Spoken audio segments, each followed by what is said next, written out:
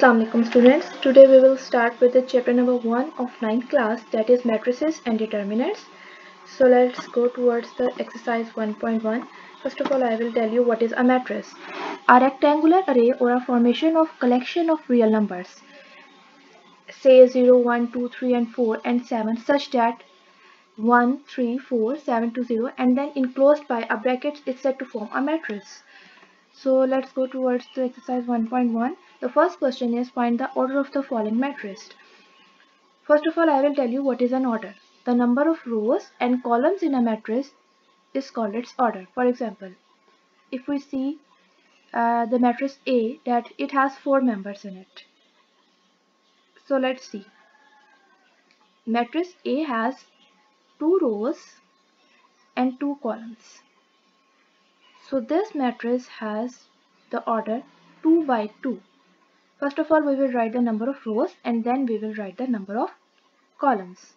In the same way, the matrix B has two rows and two columns. Its order is also 2 by 2. Matrix C has one row and two columns. Its order is 1 by 2. Matrix D has three rows and one column. It has the order 3 by 1. Matrix E has the order 3 by 2. F has the order 1 by 1. G has the order 3 by 3 and H has the order 2 by 3 because it has 2 rows and 3 columns.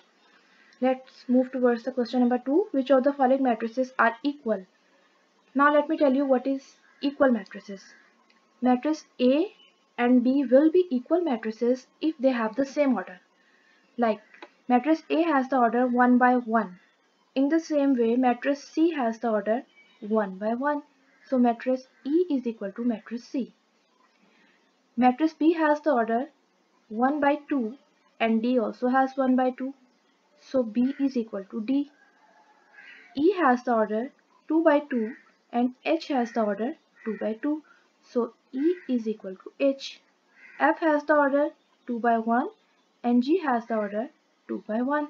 So F is equal to G. I has the order 1 by 2. So it could be equal to B and D. Its main matrix B, D and I are equal. J.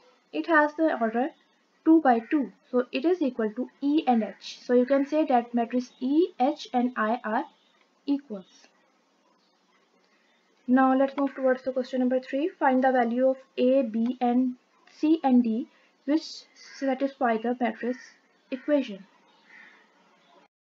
This is our question. In this question you can see A plus C is equal to 0. So we will write A plus C is equal to 0. A plus 2B is equal to minus 7. C minus 1 is equal to 3 and 4D minus 6 is equal to 2D. So you can say that now first of all we will solve this one. This is C is equal to 3 plus 1 when we will move minus 1 towards the right hand side of the equation it will be plus 1 so c is equal to 4 we get the value of c that is 4 now we will put in the value in this. This is a is equal to minus 4 as we have got the value of a we will put it in this equation that will be like this. Minus 4 when we will move minus 4 towards the right hand side of the equation it will be plus 4 so you get the value minus 3. 7 minus 4 is equal to 3 and because the largest value have the sign of minus we will write the minus. B is equal to minus 3 over 2 as 2 is multiplying on the left hand side of the equation it will be divided on the right hand side of the equation. 4d minus 6 is equal to 2d 4d minus 2d when we will move 2d towards the left hand side it will be minus 2d and when we will move minus 6 towards the right hand side it will be 6 plus 6 4 minus 2 is equal to 2d because larger largest value has the plus sign so it will be in positive 6 d is equal to 6 over 2 same rule because 2 is multiplying on the left hand side. When we will move it towards the right hand side it will be divided. 2 ones are 2 2 threes are 6 d is equal to 3 so in this way we have solved our question. A has the value minus 4, B is equal to minus 3 over 2, C is equal to 4 and D is equal to 3.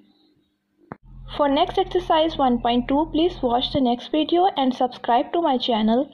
and press the bell icon so that you can get the updates of the new uh, videos whenever I upload a that video so thank you so much for watching